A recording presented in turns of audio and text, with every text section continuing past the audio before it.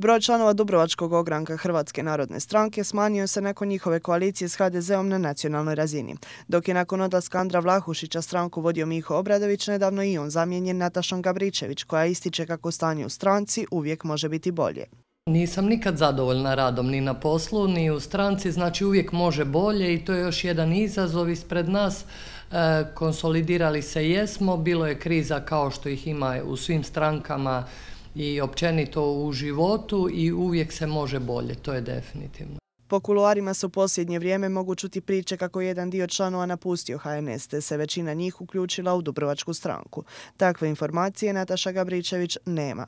Već sam u više navrata u javnosti iznijela e, podatak da je nakon 2017. odnosno nakon nacionalne koalicije došlo do određenog broja izlazaka članova iz HNS-a, međutim to definitivno nisu bile neke veće brojke. Mislim da je to nešto prirodno ako je došlo do toga E, došlo je u manjem broju i ne mislim da je neko od značajnijih imena i aktivnijih imena iz stranke napustio stranku u proteklom razdoblju, ovom kraćem.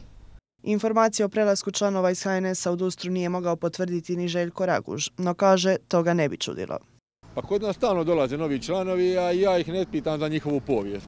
Prelasci u Dubrovačku stranku po riječima njenog predsjednika očito su normalna stvar. A gdje su ti članovi bili prije, Raguž ističe, njega ne zanima.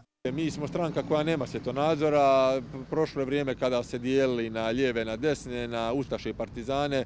Kod nas su da imaju čistu prošlost i onda su dobro došli u Dustru, iako se uklope brzo u tim, ako imaju neke kvalitetne ideje za građane i za grad Dubrovnik, onda su u našem timu dobro došli. U Dubrovačku stranku već su prije navodno prešle sestre Katarina i Matea Zarač koje su bile veoma aktivne u HNS-u za vrijeme posljednje kampanje za lokalne izbore.